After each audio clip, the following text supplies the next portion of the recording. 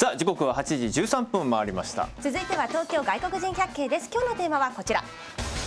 都内のインターナショナルスクールが実施するサマースクールをご紹介します。いいですね。夏休みも後半戦、一体どんなレッスンが行われているのでしょうか？取材しました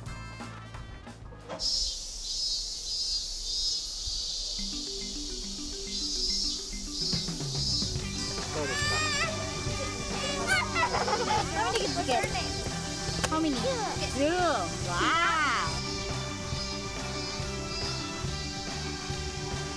さんこんにちは夏休み楽しんでますか?今回は英語で夏休みを過ごすサマースクールの現場を取材しに行ってきます. 違うんですさっきさっきいらっしゃったさっきいらっしゃった安田さんです。というわけで訪れたのは浜松町にあるセブンシーズインターナショナルスクール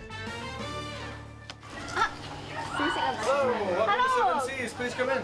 こんにちはあ、オンリーイングリッシュね No train, uh, no Japanese, please. sir. ノージャブです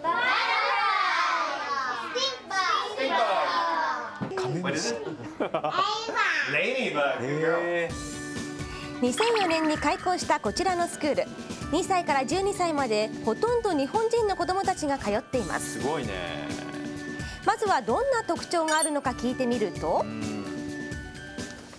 We teach everything. Uh, it's not just an English school. That's kind of the main point, I guess. We teach all the subjects mathematics, we teach science, we teach just a, a whole range of things, including art and music and everything in English.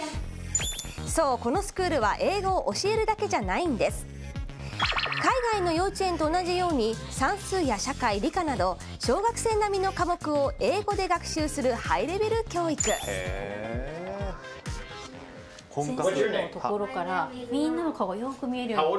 に半円状にデスク、テーブルがなってるんです Yeah. yesterday? How old are you? I'm 35. Thanks for asking. Did you like swimming? Yes. So say, I like swimming.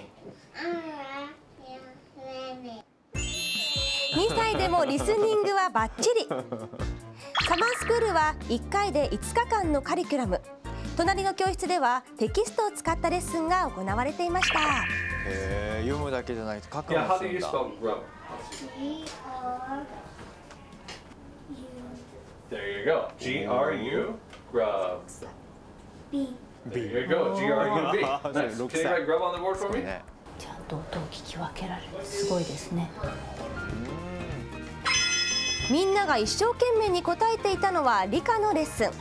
カブトムシのライフサイクルを英語で学習。そ,して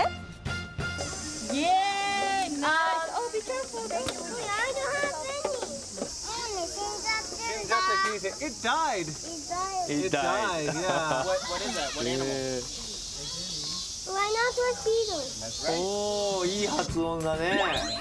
教室を飛び出してやってきたのは森に囲まれたレジャー施設5日間の授業のうち1日はアクティビティレッスン There you go. You got your bug. Put your lid on. All right.